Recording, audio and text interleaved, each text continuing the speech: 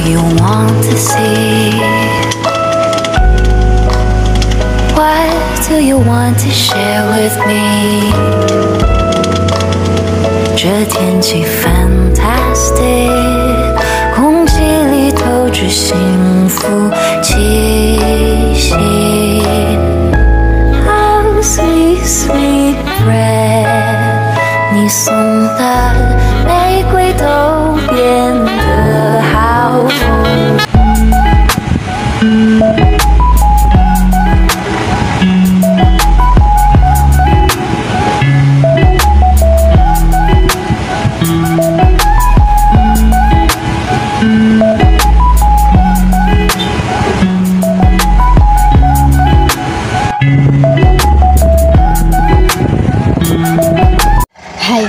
So today um didiscuss ko is about unethical and ethical breeding. So, ano bang nga yung difference ng ethical and unethical breeding? So, yung ethical is yung tamang process ng pag-breed which is dapat um, pinag-aaralan yung genetics, yung history, yung um, health and dapat may goal ka na pagandahin yung temperament ng isang species na yun.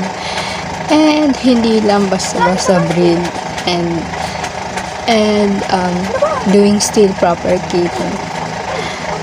Ethical breeding is applicable sa lahat ng binibreed na pets.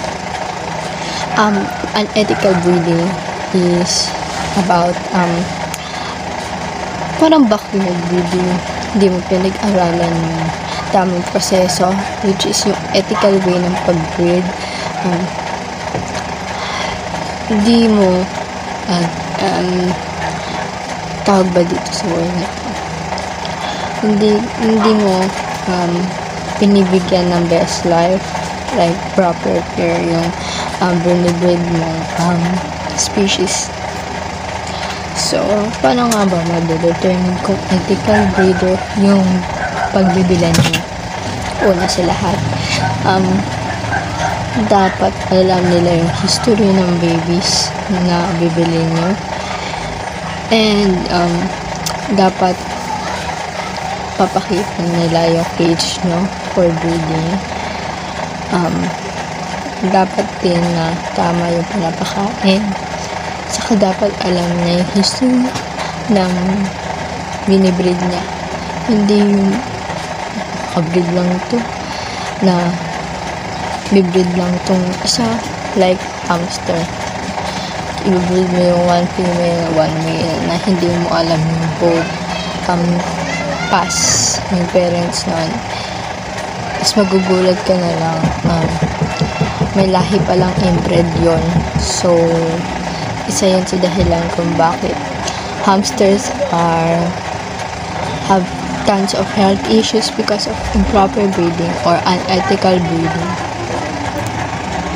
Bye.